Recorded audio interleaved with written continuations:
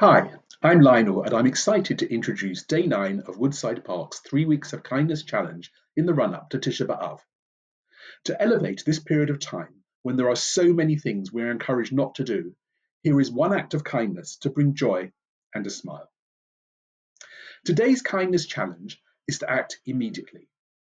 Next time you're asked to do something, do it immediately without hesitation. Try not to use the phrase in a minute or later today.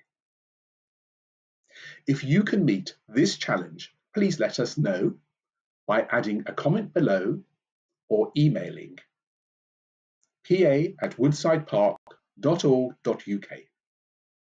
This kindness challenge is in memory of my late father, Baruch Ben Aharon.